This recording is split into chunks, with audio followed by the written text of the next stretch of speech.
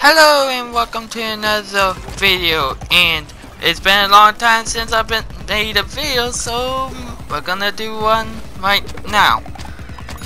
And I've been on vacation like a month or two ago and I've been meaning to do this a while ago since I got back from vacation which is a mini Q&A which I just asked on Reddit or in Discord and I got about six questions I've gathered. None of them are really real questions, but let's do them anyways.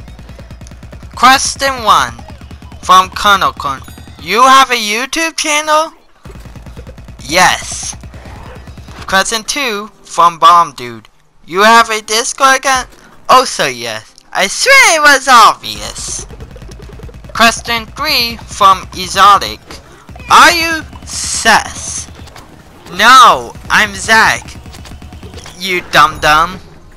Question 4 from Isidro. Oh, I don't know how to pronounce the name, sorry. Are you Zach or not Zach? Also from Pylon Imp. For the fifth question, or are you just Zach? You do know you're not funny, right?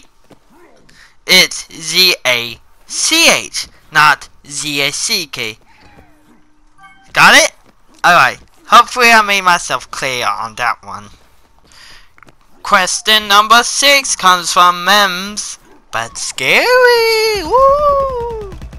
What do you think about Taiwan's country status?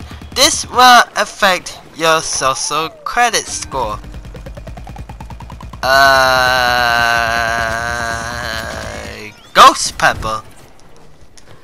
The seventh question comes from Cruel Nate. What is your name? My name is Zach. I'm pretty sure we stated that a like, question or two ago.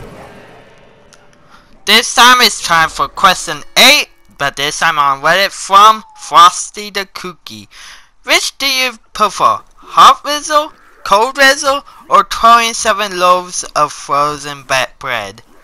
Well, what type of question is that? Because I'd rather have 34 trillion pieces of lasagna. Everyone should know that by now. And, well, that's all the questions I had.